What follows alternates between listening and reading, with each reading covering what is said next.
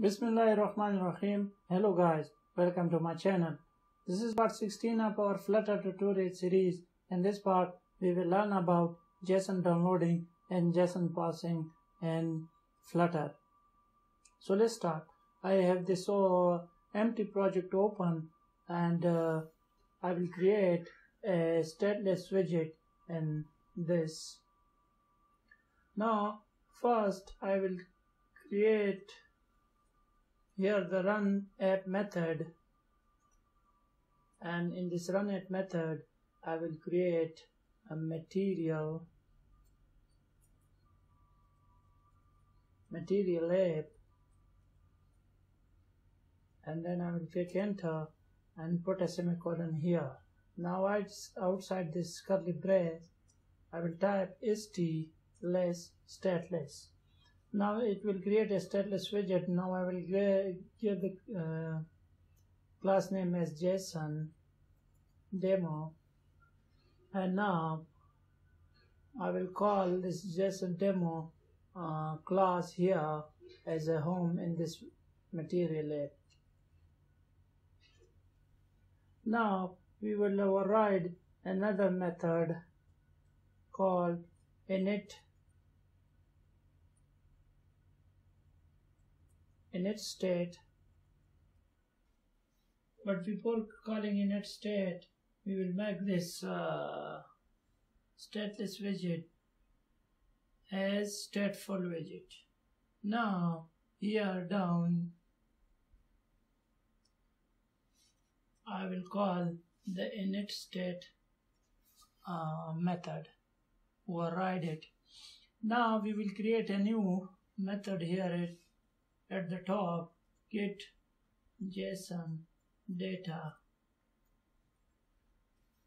and its type will be void which means it will return nothing and we will make this async so it will asynchronously download JSON data for us.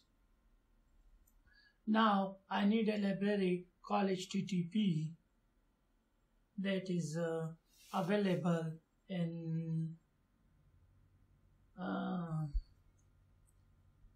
uh, Flutter. So the latest version of HTTP is uh, this uh, 0.12.2 and I will copy it from here. Copy the text from here. Or you can copy it from uh, here directly and then put that colon and uh, and I will come to this uh, pubspec.yaml file and here down in this dependencies section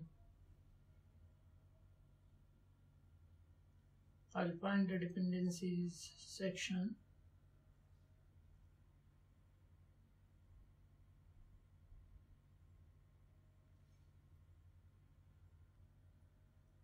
this is the dependency section this one and I will paste it here control V this. And now we have the latest version uh, 0.2.2 uh, 0 0.12.2 so I will change it to 0 0.12.2 and um, I will pub get this to download the dependencies now it is uh, showing us an error because this is not in send line with this. That is why it is showing this error. Now if I pub get it it will successfully download this uh, dependency. Now the dependency is successfully set up. So I will go to main.dart file and uh, I'll go to the top and import package http dot dart. And now I'll come to this uh, get JSON and I will go here and response response equal to get.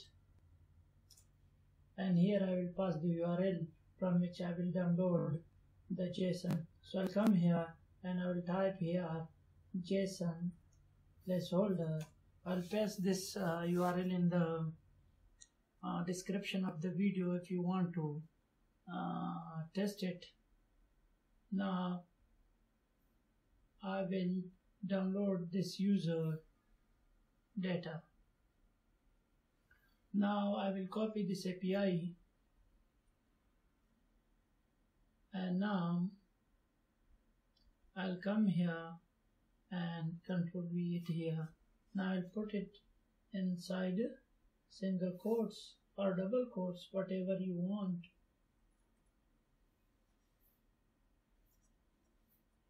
And now it will start showing an error because we have not used the await keyword before this get. Now, when it download the JSON data, it will be available inside this response. So we will print response dot body and you will see in the console that if it is printing anything. Now I'll come to this uh, um, this init state method and I will call get JSON data method here. Semicolon. Now everything is set up. Let's run the application and let's see if it is working. Now we'll run this.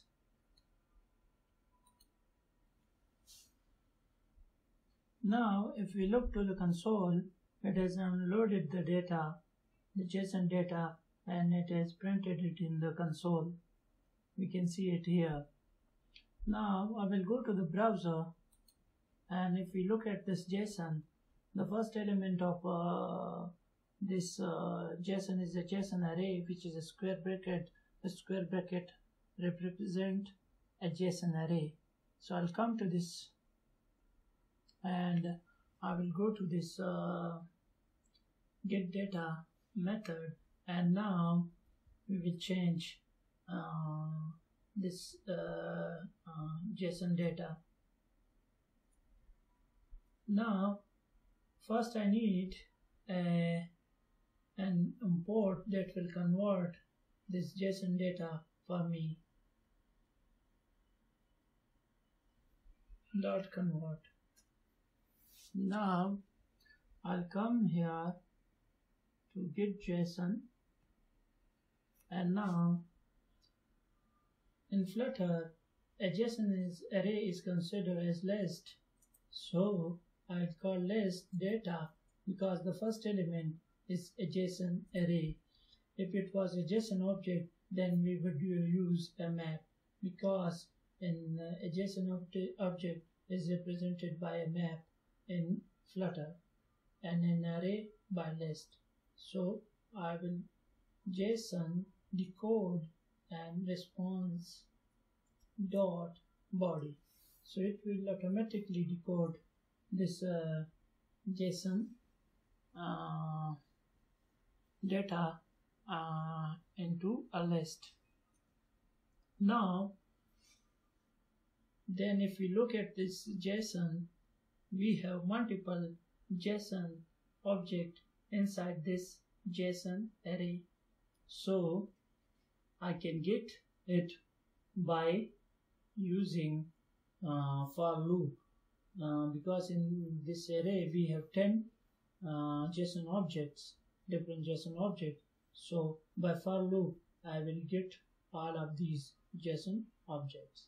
So I'll come here and use data dot for each loop. I will use for now I'll click enter and use a semicolon here and I'll come here and make this map uh, obj is equal to uh, element. Now every element is a JSON object. So we assign map to it. Now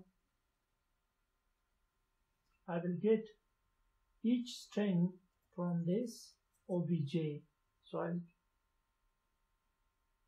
I'll use string is equal to obj and square brackets and now with single quotes I will use uh, consider I want to get this name so I'll name and here I will put semicolon. And now I have I have not given a name to, to it so I'll give it name. And now I will print it here. And we will see that if we are getting this name. Semicolon. And now I will run the application on the device now you can see that it has uh, uh, loaded the names and printed in, uh, the console all 10 names.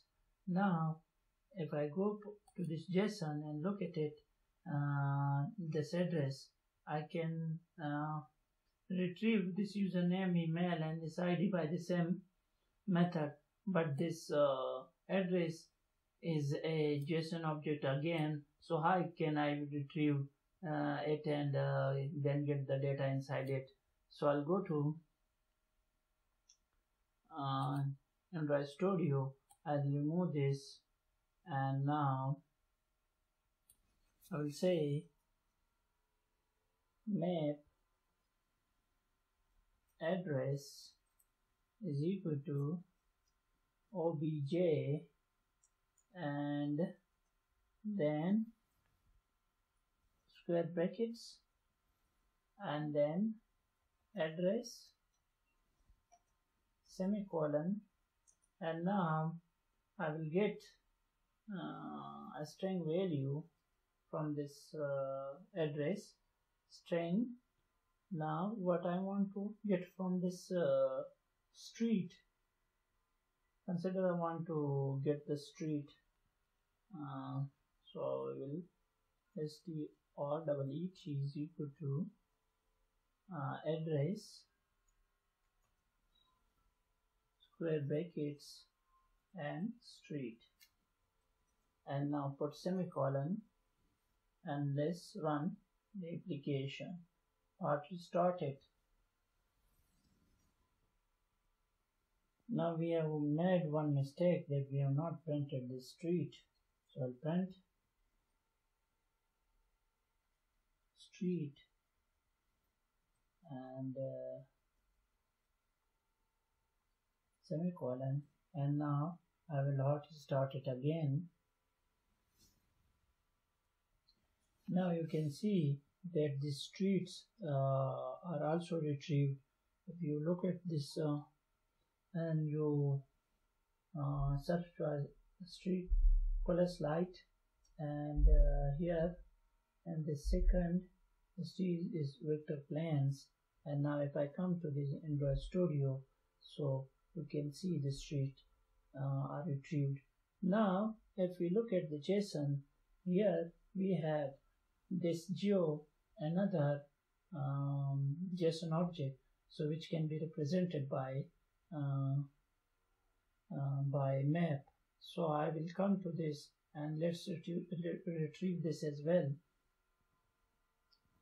so this is in the address. So map uh, geo is equal to address and now square brackets and inside this I will use geo. And now for semicolon semicolon and now I will uh, let's see what type. Uh, so it is string so um, string lat is equal to geo and then I will retrieve lat semicolon. Semicolon. And now I will print uh, lat semicolon and now let's run this. Or to start this.